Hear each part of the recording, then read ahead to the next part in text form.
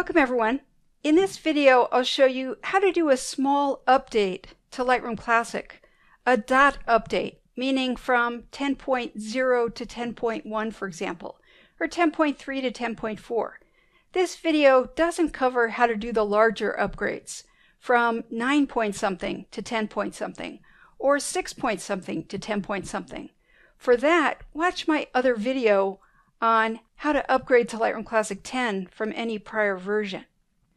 Now, before we dive into how to update, we should make sure that Lightroom Classic hasn't already done the update for you. You'll see later in this video that in the Creative Cloud app, you can turn on Auto Update to have it do your updates automatically when they're released. So if you've just found out about an available update because you've read my blog or you've gotten my newsletter, then I would first come into Lightroom Classic and see if you already have that update. Go to Help System Info. I'm making this video the night before 10.1 is coming out. So if you come in and you find that you already have 10.1, then Auto Update is turned on and you don't need to do the update. You can skip ahead in this video to where I talk about that auto update setting and I give you my thoughts on whether you should use it or not. Now, for the rest of you that do want to do an update, before we do, it's a good idea to back up your Lightroom catalog first. It's just a good general practice before doing an update. If you know when you close Lightroom Classic that you will get the catalog backup prompt, then go ahead and close. If you're not sure, or if you know you won't, then we'll go into catalog settings. On a PC, go to Edit. On a Mac, Lightroom Classic, and then catalog settings. On the General tab, we've got the setting for how often we're prompted to back up the Lightroom catalog. Mine is set to every time Lightroom exits, so I could just close Lightroom at this point. But if you've got yours set to once a day, once a week, once a month, or never, although I don't recommend these first two. And you want to keep whatever your setting is, generally speaking, but you just want to force the backup prompt to come up this once. Then choose when Lightroom next exits. After we exit this time, the setting will just revert back to whatever you had. Now watch my video on setting up and managing catalog backups for all of the details on this topic. We'll go ahead and close catalog settings and then close Lightroom Classic. Yes, I want to quit. And then I have the backup prompt. I would click on backup. For the sake of the video, I'll just go ahead and skip. Now at this point, we're going to use the Adobe Creative Cloud application to update Lightroom Classic. You can either open the Creative Cloud application directly, or you can go back into Lightroom Classic and launch it from there. So I'll show you how that's done. You'll just go up to Help, Updates. That launches the Creative Cloud application and it selects the Updates page here so we see all apps for which there's an update. Now I have the All Apps plan so I have probably many more apps than most of you do. Now in fact, unfortunately, there is not a Lightroom Classic update available right now because 10.1 won't be out for a few more hours. But normally speaking, once the update's been announced, you'll see it here on the updates page. If it's been announced and you don't see it here, you can click on the three dots here and choose check for updates and it will just refresh this adding any new updates. If you still don't see it, you could try clicking on your profile picture and signing out and signing back in again. Finally, if you don't see it, you could try going to the Photo tab, to Lightroom Classic, remember LRC, not LR. LR is the cloud-based Lightroom. So Lightroom Classic, and if there's an update available, you'll see an update button. Now, if it's the day of the release and you still don't see it, then you probably just need to wait. It takes a while for these updates to be sent out all across the world from Adobe servers. If it's not the day of an update and you don't see it, then I would suggest calling Adobe customer support go through adobe.com through their support page. You should also contact them if you have any update issues. As a subscriber, you're entitled to phone and chat support, and they can log into your computer if you give them permission so that they can troubleshoot for you. All right, let's go back to the updates page here. Assuming there was a Lightroom Classic update, I would just click on the update button. I'll go ahead and click on it for another program. Now we won't see this window, so I'll just continue.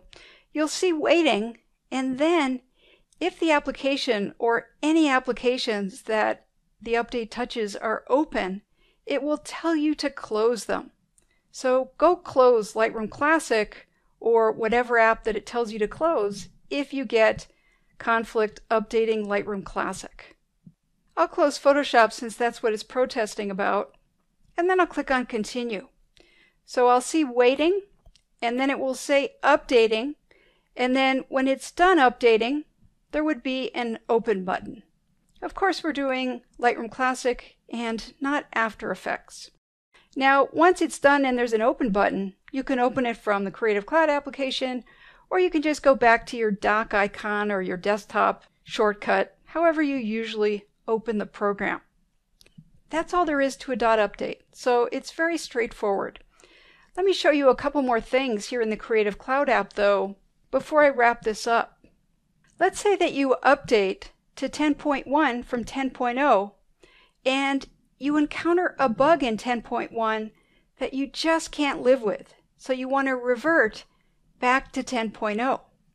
To do that, go to the photo category here and find Lightroom Classic. Click on the photo here so that you get to the Lightroom Classic page. Then click on the three dots here and choose other versions. So right now I've got 10.0 installed, so I could uninstall it and install 9.4. Once I have 10.1 installed, then I would have the option to uninstall that and install 10.0 to revert back. All right. The last thing I want to mention is auto update. Let's go into Creative Cloud Preferences. I believe on a PC it will be under Edit, on a Mac it's under Creative Cloud, and then Preferences. And then click on the Apps tab. There's an auto update setting here where if you turn it on, the Creative Cloud app will automatically update Lightroom Classic, Photoshop, any other apps that you're using as soon as an update is available. So you could turn this on. However, I don't think that it's a great idea because occasionally a version of Lightroom Classic comes out with significant bugs. And I actually recommend that those of you that can wait a week or so before updating wait and let other people try out the new release to make sure that there aren't significant bugs. If you've chosen to auto update, you're going to get that new, possibly buggy version without having had a choice. On the other hand, if you just really need the Creative Cloud app to manage this for you because otherwise you're just never going to get around to updating and you really want to stay up to date, you can turn this on. Just keep in mind that if a buggy version comes out that negatively affects you, that you may need to revert back to the old version once you discover that. All right, I'll click on Done. Finally, I want to show you a message that may come up when you close the Creative Cloud application. So I'll go ahead and quit it. It says your active installs, updates, and uploads will not be completed. So hide Creative Cloud rather than quitting it. What does that mean? Well, that means if you're in the process of doing a Lightroom Classic or a Photoshop update, for example, and you quit, it's not going to finish that update. But if you know the updates have finished, you can go ahead and quit. Now, I think Adobe would like Creative Cloud to keep running so that as updates come out, it can notify you of those updates. But if you don't care about that and you'd rather quit, as I do, you can go ahead and click on Quit. If in doubt, click on Hide. Finally, I think it's a good idea to go back into Lightroom Classic and just be absolutely sure that you're using the version that you think you are. You should be if you went through the process that we just went through, but I like to be a little paranoid, so you would just go to Help, System Info, and it will show you right here what version you're using. I'll close this. So that's it for how to do a dot update for Lightroom Classic. Again, if you experience any installation issues, remember that you can contact Adobe customer support for that. This concludes the lesson on updating.